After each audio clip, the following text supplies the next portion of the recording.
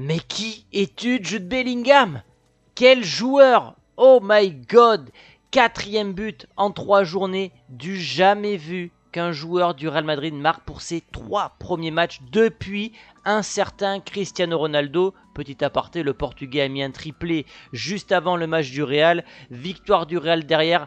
La soirée elle est parfaite les amis et vous le voyez, je suis rentré de vacances, je suis de retour dans les locaux de Chronique Foot et c'est un véritable plaisir de vous partager ce débrief ce soir puisque oui, le Real est seul leader du championnat, une victoire compliquée quand même du côté euh, de Vigo en Galice, mais on va retenir le positif, on va retenir voilà le 3 sur 3 et ce joueur là qui est trop fort. Oui, parce qu'au-delà des statistiques, je vois un véritable leader sur la pelouse, un joueur qui harangue ses coéquipiers, un joueur qui va défendre, salir le maillot, un joueur qui se projette dans la surface. Il est ultra complet. Il est ultra complet, il défend, il fait les décisions. C'est lui à un moment qui offre la passe qui va provoquer le penalty de Rodrigo que le Brésilien va louper. C'est lui qui va mettre cette tête plongeante. 4 buts en 3 matchs, 100 millions d'euros. Combien de joueurs se sont écroulés psychologiquement avec une telle somme sur les épaules? J'étais hypé, franchement j'étais hypé, mais je pensais pas qu'il serait aussi impressionnant. La compo, les amis, de ce Real, c'était la première de Kepa. Kepa, on en parlera, mais il m'a pas du tout rassuré, notamment dans les sorties aériennes. Je l'ai trouvé fragile au niveau des contacts.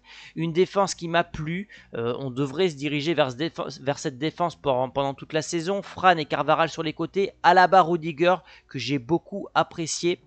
Le milieu à 4 avec encore une fois la next-gen au pouvoir, Chouameni en sentinelle, Valverde Camavinga, Bellingham dans ce rôle de numéro 10 et une attaque Vinicius Rodrigo. Vinicius on va en reparler mais, il est blessé. Et ça commence au bout de 2 minutes de jeu avec cette ouverture du score de Vigo. Et là sur le coup en direct je me dis, ouah, Kepa ça commence bien complètement à la ramasse. Et en fait, au ralenti, on s'aperçoit de quoi? Bah, Que l'attaquant euh, de, de, Vigo, que vous voyez là, juste devant Rudiger, bah, en fait, il a dévié d'une talonnade. Donc, en fait, sur le but, Kepa, objectivement, il peut strictement rien faire. Finalement, euh, le but sera annulé parce que le gardien de Madrid a eu son maillot de tiré. Je trouve que c'est plutôt gentil pour le Real Madrid parce que sur cette action-là et sur celle d'après, j'ai pas le screen, bah on voit qu'il n'est pas complètement à la ramasse. Dès qu'il y a un contact avec les épaules, il perd l'équilibre, il met le point là où Courtois avant arrivait avec euh, du haut de ses 2 mètres et capter le ballon directement. C'est là, sur ce genre de petits détails, je trouve, qu'on voit que Courtois, bah voilà, c'est le meilleur gardien du monde. Donc on verra. J'ai pas envie de tomber non plus sur Kepa. Après, il n'a pas eu grand chose à faire aujourd'hui. Il n'a pas sorti de gros arrêts. Mais sur les sorties aériennes, je l'ai trouvé un petit peu fébrile. Et puis, comment ne pas parler, puisque c'est l'un des tournants de la rencontre, si ce n'est peut-être du début de saison, on verra, hein, d'après la presse espagnole, ce n'est pas très très grave, mais voilà, Vinicius qui se blesse derrière la cuisse sur une accélération où il va éliminer deux joueurs. Et en fait, j'ai dit sur Twitter que c'est là qu'on voit qu'il manque un véritable numéro 9. Parce que Vinicius est obligé de faire une dépense énergétique énorme pour faire une différence offensivement. Ce qui, en plus de ça, lui empêche d'avoir la lucidité nécessaire dans le dernier geste. En l'occurrence ici, c'était la dernière passe pour Rodrigo. Et en fait, Vinicius, faut qu'il dribble, qu'il soit le facteur qui comment dire, permette de faire le décalage, mais il peut pas faire des sprints de 50 mètres pendant toute la rencontre. Il manque un numéro 9 et je suis en colère parce que tu as déjà Courtois qui est blessé, T'as Militao qui est blessé. Maintenant, t'as Vinicius. Ça veut dire que t'as un joueur majeur par ligne qui est out du côté du Real Madrid. Alors heureusement qu'on a Bellingham, heureusement qu'on a un banc de touche qui est euh, super efficace et qui est de très haute facture. Mais voilà, franchement, on est quand même assez maudit dans ce début de saison. Et, j'ai mis sur Twitter, à la fin, il n'en restera qu'un en mode Colanta parce qu'on n'a que trois attaquants officiellement sur le papier. Vinicius Rodrigo Rossellou et Vinicius est déjà out. Et puis surtout, bien jouer la direction, parce que là, on est le 25, il reste 6 jours de mercato, et tu avais ce joueur-là. Et pourquoi je suis en colère? Pas spécialement pour Kane, mais l'an passé, en 2022, tu as l'occasion de prendre Haaland pour 75 millions d'euros, mais tu préfères faire un focus sur, euh, sur Mbappé qui va te mettre une clim. Cette année, bis repetita, c'est-à-dire que Kane est disponible pour 100 millions d'euros, tu le prends pas. Alors que objectivement, il aurait été incroyable avec les deux Brésiliens. quand, il était, enfin quand il y avait les rumeurs de Kane, je m'imaginais déjà les combinaisons avec Vinicius. Et finalement, tu ne prends pas Kane et tu attends, parce qu'évidemment que le Real attend euh, de signer Mbappé en toute fin de mercato pour pourquoi pas reprendre une deuxième clim. Donc ça me saoule de me dire qu'on peut se retrouver cette saison avec ça comme attaque du Real Madrid et de tout miser sur un jeune de 20 ans qui s'appelle Jude Bellingham. Honnêtement, c'est pas sérieux du tout. Ensuite, bah, c'est ça qui m'a impressionné aujourd'hui parce que le Real offensivement, bah t'as pas de combinaison, t'as pas de il n'y avait pas, comment dire, une grosse animation offensive que j'ai trouvé plutôt fantomatique euh, ce soir. Si ce n'est en deuxième mi-temps, vers la fin, euh, les, joueurs de la Galice ont, baissé le pied. Mais ce que je retiens ce soir, c'est que ce quatuor, ce Big Four, ces quatre fantastiques, ils ont imprégné leurs pattes. Techniquement, physiquement, je les ai trouvés vraiment cohérents. Dommage qu'offensivement, bah, il manque, euh, il manque de poids peut-être parce que bah, quand t'as plus Vinicius, que t'as plus Benzema et que t'as seul Rodrigo, bah, ton attaque elle est complètement décimée. Mais ce milieu-là, honnêtement, ça fait quoi? Ça fait euh, trois matchs qu'ils jouent ensemble. Ils sont hyper complémentaires physiquement. Je trouve qu'ils ont un poste. T'as trois joueurs hyper physiques entre Kamavinga, Chouameni, Valverde. Mais t'as quand même de la technique. Et surtout, t'avais l'élément qu'il te manquait, c'était Bellingham. Tu sais, le liant qu'il manquait entre le milieu et l'attaque, c'était le parfait joueur. Et je suis, assez emballé par, ce milieu-là et notamment par ces deux-là aujourd'hui, euh, Kamavinga et Chouameni. Chouameni que je trouve très très bon en ce début de saison, euh, propre à la relance, solide défensivement. Et en attaque, il s'est permis de faire un coup du foulard qui aurait pu être incroyable. Bon, malheureusement, ça n'a pas, été décisif, mais voilà. Euh, évidemment, Jude Bellingham, c'est la star de ce soir, c'est la star de ce début de saison. Mais n'oublions pas Kamavinga et Chouameni qui font un début de saison absolument remarquable. Le penalty, le penalty qui a été euh, provoqué hein, par, par Rodrigo sur une passe lumineuse de Jude Bellingham que je disais donc en début de vidéo. Et est-ce que le joueur qui subit la faute doit tirer le penalty Je ne sais pas parce que regardez derrière, il va rater le tir au but et je suis désolé, même s'il met la puissance, il est mal tiré. Pourquoi? Parce que statistiquement, un droitier va toujours tirer du côté gauche. Enfin, 3 fois sur 4, il va tirer du côté gauche.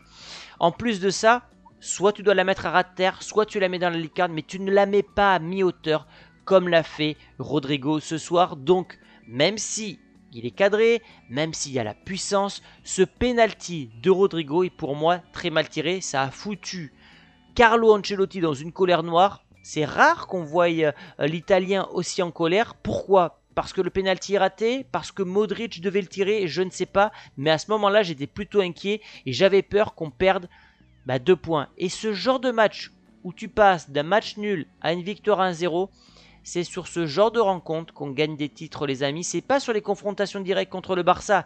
C'est sur les matchs où tu perds deux points par-ci, deux points par-là. Parce qu'à la fin, les deux points que tu accumules, ça fait 10 points de retard. Et ces 10 points de retard, c'est exactement ce qu'on avait l'an passé face au Barça. Et là, on en est à trois matchs à l'extérieur, trois victoires.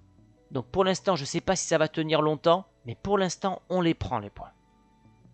Et puis on arrive finalement à la délivrance. On est à la 80e minute de jeu, 75e, je sais plus. Cette tête de, Jude Bellingham plongeante qui va être touchée par le gardien de but, mais je m'en fiche. Parce que je vois un joueur qui, qui se démène. Peut-être un joueur qui a eu l'habitude aussi de jouer en Premier League, en Bundesliga, des championnats aussi plutôt physiques. Du haut de son mètre 86, il va donc inscrire son quatrième but en Liga. Et je vous pose une question toute simple. Est-ce que Jude Bellingham peut finir Pichichi alors qu'il est milieu de terrain. Moi, la dernière fois, il y a deux joueurs comme ça qui m'ont marqué, un que j'ai pas connu et un que j'ai connu, qui ont terminé meilleur buteur en tant que milieu de terrain d'un championnat de top 5 européen. Donc Platini, c'était dans les années 80 du côté de la Juve. Et Frank Lampard, alors il n'avait pas terminé meilleur buteur d'un championnat, mais il avait terminé meilleur buteur de Chelsea. Honnêtement, je ne connais pas un autre milieu de terrain qui a terminé meilleur buteur euh, d'un championnat. Vous me direz ça dans les commentaires. Et on va passer maintenant aux statistiques. Vous le voyez, envers la domination de Vigo, on voit que la première mi-temps a été plutôt équilibrée, mais la seconde mi-temps, euh, les joueurs du Real Madrid, notamment le milieu de terrain, a mis le pied sur le ballon et il n'y avait pas du tout de débat. C'est une victoire méritée. On le voit au niveau euh, des statistiques, même si c'est plutôt équilibré. On est à peu près pareil au niveau des, euh, des, goals, euh, des expected goals. Pardon. La possession est largement en faveur du Real Madrid. Après, c'est vrai qu'au niveau des frappes, c'est plutôt équilibré. 13 pour Vigo, 10 pour le Real Madrid, plus de frappes cadrées finalement pour Vigo. C'était un match serré, c'était un match compliqué, d'où ma satisfaction ce soir que le Real s'en sorte avec les 3 points. Les notes de cette rencontre, on va accélérer parce qu'on a déjà 10 minutes de débrief. Euh, bah, Jude Bellingham est homme du match. Rodrigo est bien noté malgré son penalty loupé. Moi, je l'ai mis dans mes flops, Rodrigo, parce que quand tu es censé porter ton équipe en l'absence de Benzema, en l'absence de Vinicius et que tu as une balle de match, pour moi, tu ne peux pas la louper. Euh, je trouve ça assez sévère au niveau des notes concernant Alaba Rudiger, assez surpris de la note concernant Kepa. Bref, vous l'avez compris, je suis pas trop d'accord avec les notes de Wooscord concernant le Real ce soir. Mais top, eh ben c'est pas compliqué, si vous avez suivi et compris le débrief, c'est les trois milieux du Real Madrid. Je trouve que Valverde, il est quand même un cran dessous des trois depuis le début de la saison. J'attends un peu plus de l'Uruguayen, mais Chouameni, Franchement, il apporte une véritable stabilité défensive à ce milieu-là. Et ce triangle défensif avec Alaba Rudiger me rassure énormément. Bon, Bellingham, je le mets au centre. C'est évidemment l'homme du match ce soir. Et Kamavinga parce que, bon ben voilà, Kamavinga c'est euh, intouchable depuis euh, la saison dernière. Au niveau des flops, vous le voyez dans l'axe, Florentino Pérez, gestion pour l'instant douteuse de ce mercato, notamment pas de remplaçant à Carvaral, de véritable remplaçant pas de numéro 9, donc euh, ça n'a pas euh, coûté de points au Real Madrid ce soir, ça aurait pu le coûter, c'est pour ça que je le mets quand même dans mes flops. Je mets Rodrigo parce qu'il a loupé le penalty, même si je trouve qu'il a été très intéressant ce soir, mais comme je l'ai dit, un penalty sur un 0-0 dans un match compliqué, deux points très importants, tu ne peux pas le louper et le penalty pour moi est très très mal tiré.